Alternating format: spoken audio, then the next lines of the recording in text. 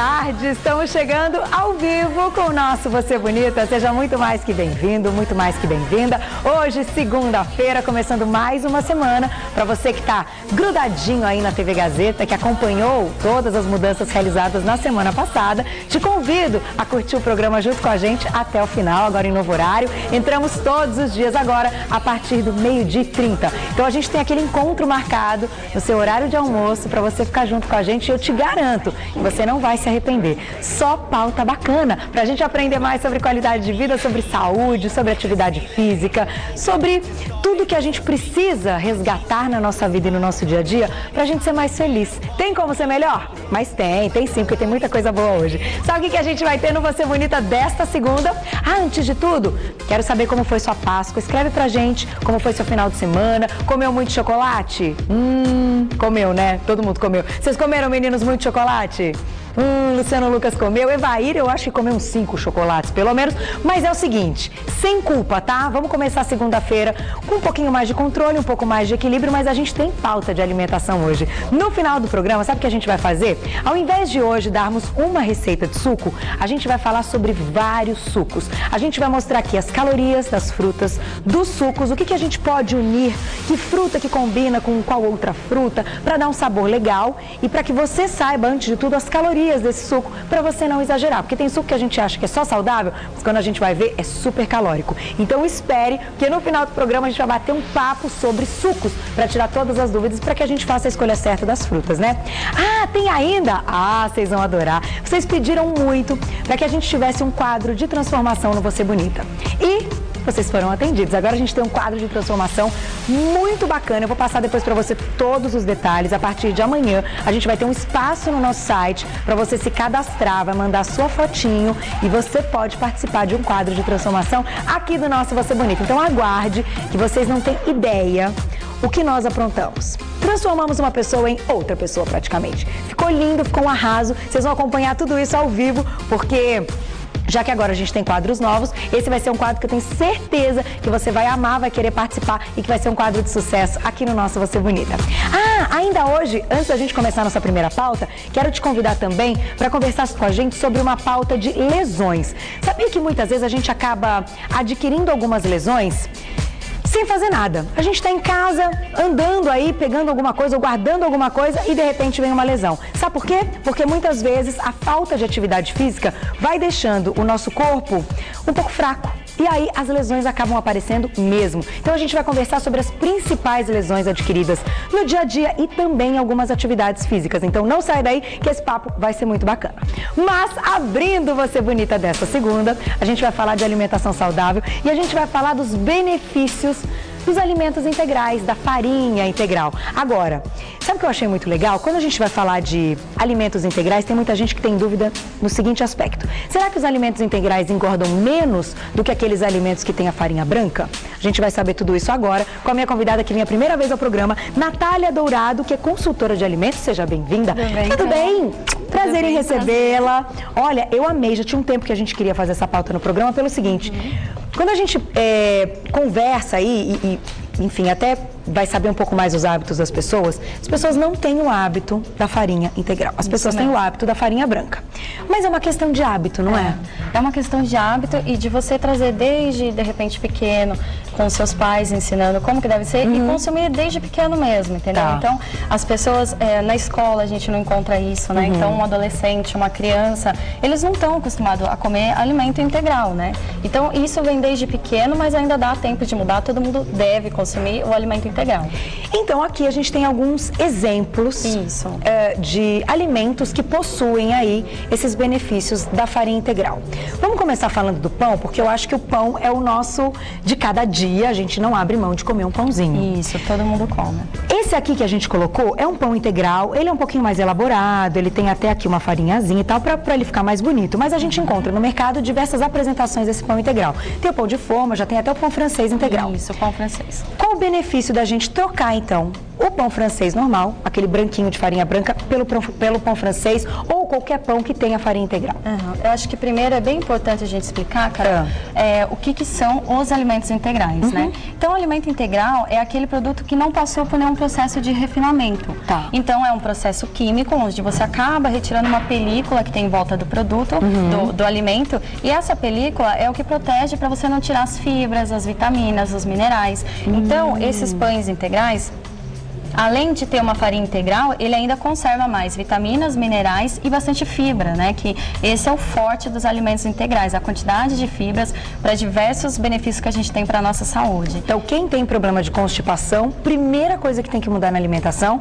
é para alimentos que tenham aí a farinha integral. Isso já Isso. muda muito. Muda muito e a gente não pode esquecer que para quem sofre de prisão de, de, ventre, né, constipação, não pode esquecer da água, uhum. porque a gente precisa da fibra, mas a gente também precisa de muita água para ter o efeito benéfico, né? A fibra age uhum. junto com a água para você poder ter esse melhoramento aí do intestino. Não virar uma bola, pra né? Virar uma bola. Senão ele vira uma, uma, uma bolinha que fica grudada lá no, no, no nosso uma... intestino e não sai. Isso, literalmente fica uma, uma bolinha dura uhum. que vai incomodar, vai machucar. Então, assim, o efeito da fibra em excesso, sem um, um, um consumo adequado de água, pode tá. trazer o efeito contrário realmente.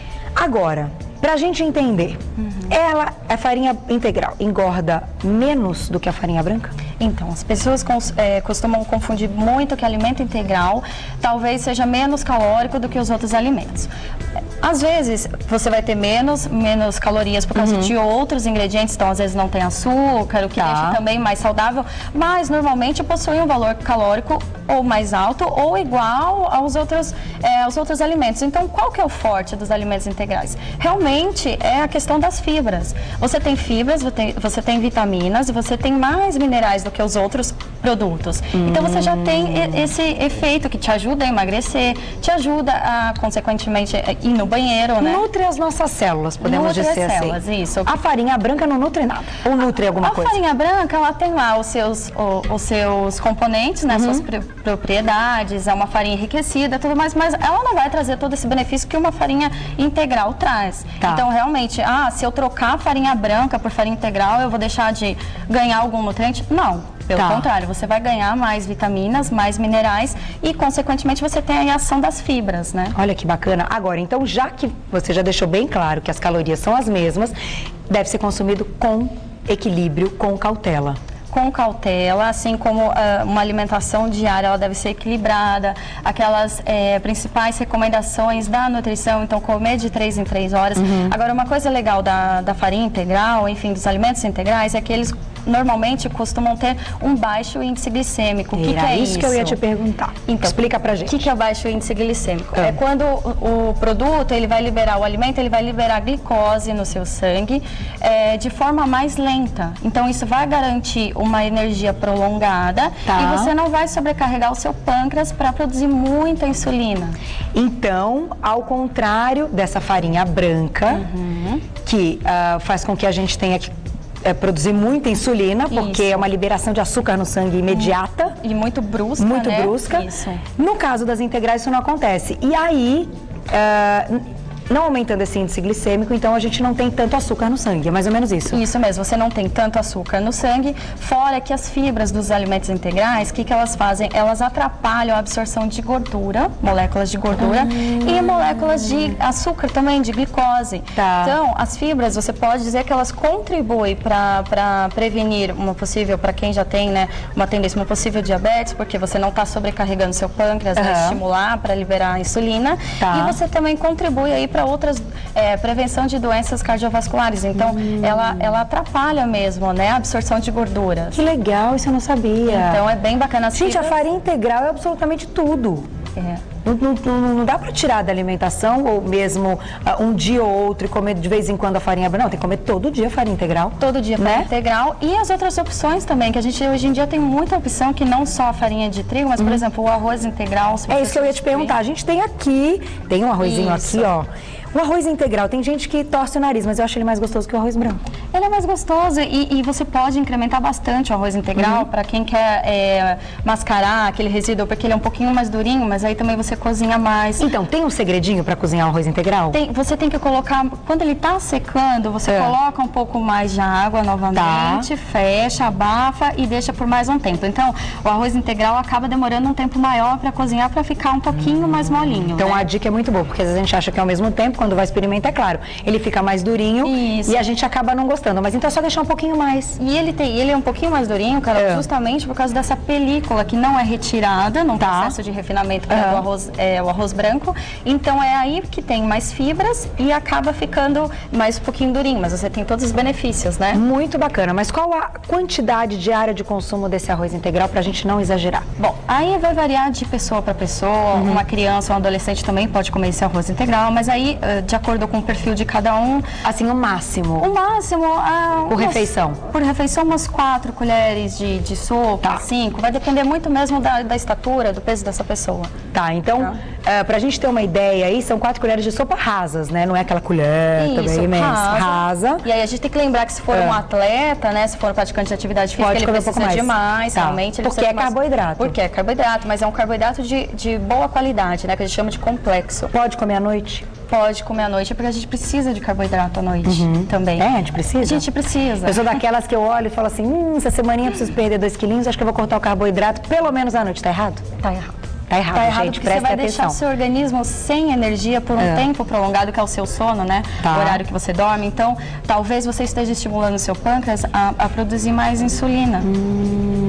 Entendeu? Então, porque durante a noite você tem esse processo, e aí você pode gerar todo um processo de resistência ah, à insulina. Entendi. Então, se a gente oferecer para o organismo um pouco de carboidrato integral, já não vai ter essa bomba de produção de insulina. Isso, então aí você vai liberar Gostei. energia mais lentamente durante tá, a noite. Gradativo. Bem gradativo, que vai te ajudar a manter níveis bons de, de, de glicemia, né? Fantástico. Então não pode tirar o carboidrato da noite, mesmo que você não vá fazer uma atividade física. Ele tem que estar presente na ele alimentação. Ele tem que estar presente. E o, é. o, o, arroz integral, ele também tem bastante vitamina do complexo B. Tá. O complexo B é super importante para o seu sistema nervoso, para você dormir bem, para você manter todo o seu metabolismo ativo durante a noite. Então é um alimento bem é, necessário e super importante para gente. Completo. Ter na alimentação diária. Troquem a partir de hoje. Está almoçando agora? Agora nosso programa em novo horário. Horário de almoço. Você olhou pro seu prato, viu que não tem ali o arroz integral? Faz o seguinte, não dá tempo mais para hoje, para amanhã, ou pelo menos para hoje à noite. Até porque hoje a gente sabe que existem várias marcas e a gente pode escolher aquela que a gente gosta mais. Com certeza, não é verdade? É verdade. Só para a gente fechar, aqui a gente tem um exemplo da linhaça que a gente já pôde falar algumas vezes no programa e os uhum. biscoitos. A gente quis trazer os biscoitos porque hoje já existem os biscoitos integrais, porém a gente tem que ter algum uh, alerta quando for escolher esses biscoitos? Olha, normalmente os biscoitos integrais, eles também têm essa boa quantidade de fibras uhum. e aí você tem que lembrar também do valor calórico. Então, tá. ah, porque ele é integral, então eu vou comer dois pacotes desse o dia todo. Não pode, não pode substituir refeição. Esses cookies, eles são ótimos, né? Cookies, biscoitos, uhum. essas rosquinhas, são ótimos para incrementar, né? Para completar a sua alimentação entre os, o, o, os lanches, entre tá. as principais refeições. Uhum. E de repente à noite você vai para a escola, vai para a faculdade, está correndo. Então é uma ótima opção, né? Uma opção saudável. Olha que bacana, gostei. Então um lanchinho da tarde, um lanchinho da manhã, até para que a gente consiga variar esses lanchinhos para não ficar aí com... O integral de sempre. É, pode uma refeição uma monótona. farelo, né? Então isso também usa, utilizam bastante. Uma fruta com a linhaça, uma fruta com a quinoa, com amaranto, que são é, grãos integrais também, que tem todo esse benefício. Eles são grãos integrais? São grãos integrais, ah. aí você encontra na forma de farinha, na forma de farelo, uhum. né, próprio grão. Então, assim, tem diversas é, opções e não só a farinha integral, né? Maravilha, adorei. Gente, vocês viram que aula? Natália volta, né, Natália? Volta. Até porque, eu vou dizer um negócio para vocês, é, mudar a alimentação não é fácil. Quando a gente tem aí as dicas, a gente fala, ah, não, vou tentar, e às vezes o sabor não é aquele sabor que a gente está acostumado, mas tem que tentar. Porque depois que você começar a se acostumar e a gostar, virar um hábito, uhum. pro resto da vida você garantir uma alimentação saudável. E isso ninguém tira da gente. É verdade. Não é verdade? Depois você adquire aquele hábito bacana, sua casa, você abre a geladeira ou abre o armário, só tem ali produtos de qualidade. Isso que eu acho fundamental. E, e uma pauta família, como né? é para a família, para os filhos que vão nascendo, para os amigos que frequentam a sua casa, uhum. vão sempre comer alguma coisa saudável. Isso é muito legal. Parabéns, viu? Eu vou passar para vocês o agradecimento especial à marca Jasmine. O site é o www.jasminealimentos.com.br, que mandou aí todas essas opções. Então, já tem no mercado, tem casa de produtos naturais, já existem inclusive em supermercados. Não dá para perder a chance de deixar o nosso armário e a nossa geladeira mais saudável. Muito obrigada. Obrigada. Beijo, ótima semana para você. Te espero. Venha logo, Eu hein? volto. Que eu adorei. É muito bom quando a gente tem alguém que explique super bem, né? Que deixa aí tudo ah, de uma maneira simples, porque não é difícil. Mas quando a gente pega um bom professor, uma boa professora, a gente entende rapidinho.